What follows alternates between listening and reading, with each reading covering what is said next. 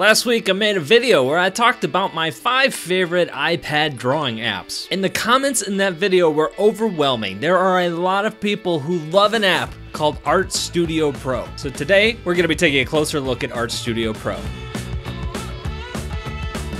So I wouldn't call this video a thorough review per se, it's more of my first impressions of using the app to draw a couple things. Now the first thing that I noticed about Artstudio Pro is how similar it is to Procreate. In the upper left hand corner of the app there's a little square box icon, and that icon lets you toggle between something that looks like a desktop mode and something that looks more like a tablet mode. When you're in the tablet mode it looks a lot like Procreate. In the upper right hand corner you have your layers, you have your colors, you even have your different brushes. In the middle of the upper bar, you have everything you're going to need your smudge tool, your brush tool, your eraser tool. And in the upper left, you have undo and redo. And then, of course, along the side, most like Procreate, is the ability to adjust the size of the brush you're using and also adjust the opacity or flow of that brush. Now, whereas Procreate hides a lot of their complexity inside things like the layers or inside the brushes, or kind of tucks them into other tools, this app does it in desktop mode. So if I switch it over to desktop mode, you can see along the top we have things like file, edit, image, adjust, things that you're used to. This isn't too surprising because it's also a desktop app. Now I I haven't used the desktop app yet, but it is available on the Mac and from what I've seen from the screenshots, it looks very similar. You get all the tools you're going to need along the left-hand side and you've got your adjustments and things like that along the bottom. So obviously the big comparison here is how does it compare to Procreate? Well, it compares pretty well. First of all,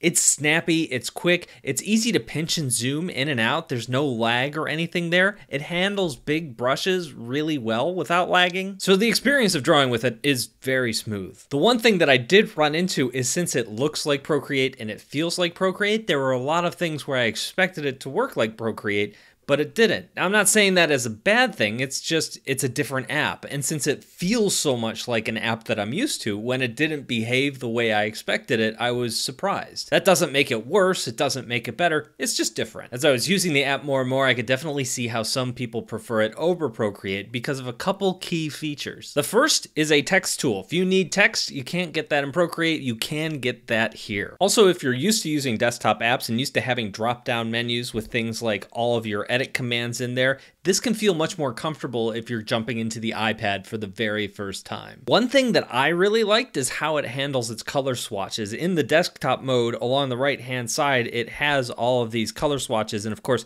you can save things to them. Since most of the stuff I paint tends to be in flat colors and I reuse the same colors a lot, it's much easier for me to just save what I need to that side palette than it is for me to press and hold to grab a color, which is another thing it does that's very similar to Procreate. Another feature we have that a lot of digital artists desperately want in Procreate is the ability to resize your canvas, or at least crop your canvas to a smaller size or crop it at a larger size. A lot of digital painters work in such a way that if there's some element of their canvas that isn't working, they'll just crop it off. Or if they want to add an extra element, they'll just make their canvas a little bigger. And that's something that you can do in Artstudio Pro. Another thing we need to talk about are the brushes. When I first started using the brushes, I thought, okay, these are good enough. But the deeper I dove, the more that I liked them. And also, you have the ability to import Photoshop brushes into this app. This isn't something I've had the opportunity to do a deep dive into yet, but it's cool to have that option. Overall, my experience here was very comparable to Procreate, and I, I feel bad about talking about Procreate so much, but I'm so familiar with it, and it's such a popular program that it's kind of inevitable that, that I have to talk about both at the same time. So while I'm here, I should just run over some of the features that I found while I was using the app. Can I export? Yeah, PNG, JPEG, TIFF, PSD, everything you need. Can I create and add new brushes? Absolutely, you can. There are a lot of brush options here. Can it do screen recording? It can, but I haven't quite figured out how to make it work. There's an option available for me on the screen, but it doesn't look like it saved any of the drawings that I was working on. There's probably a preference that I haven't found yet that I need to toggle on. Color picker, check. Smudge tool, check. Eraser, of course. More adjustments than you can shake a stick at. Gradients, yep. You can lock the position of a layer and the transparency of a layer. Locking the transparency is kind of like an alpha lock. There's also layer effects like strokes, drop shadows, outer glows, things like that. Can you mask a layer? Oh yeah yeah, you could do that. Pretty much everything I think a good painting tool needs is here. So what does Procreate have that this app does not have? First is the quick line feature in Procreate. If you do a little squiggle of your pen tool and then you pause for a second, it'll turn into a straight line and you can draw straight lines that way. Also the brand new morphing and liquefying features that Procreate just added, there's nothing quite like that here either. And lastly are the grids. I at least haven't found any yet, might be buried in here somewhere, but there's no perspective grid or standard grid. Now, if I'm gonna get nitpicky, there's there's a couple things here that I prefer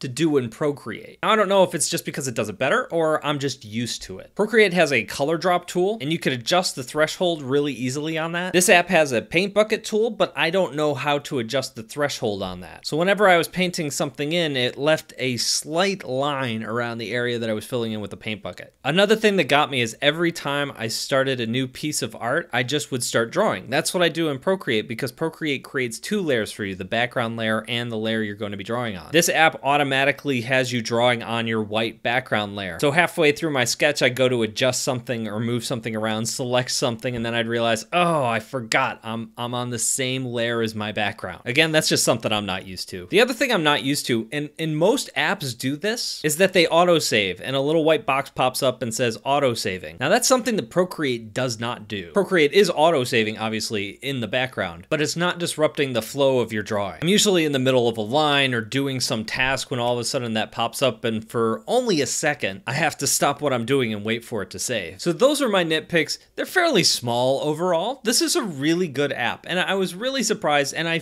feel bad that I didn't get to it before I did my last video. I don't know if it would make it onto the list. It's pretty close. I think if you like Procreate but you miss some of the features like the ability to resize your canvas, a text tool, gradients, that sort of thing, this might be worth checking out. So that's all I've got for today. If you want to learn more about Artstudio Pro, I'd point you over to to Borodante's channel. It's one of my favorite YouTubers and he loves this program. He uses it a lot on the iPad, so he's definitely worth checking out. That's all I've got for today. Like, subscribe, you know what the drill is. I'll talk to you later.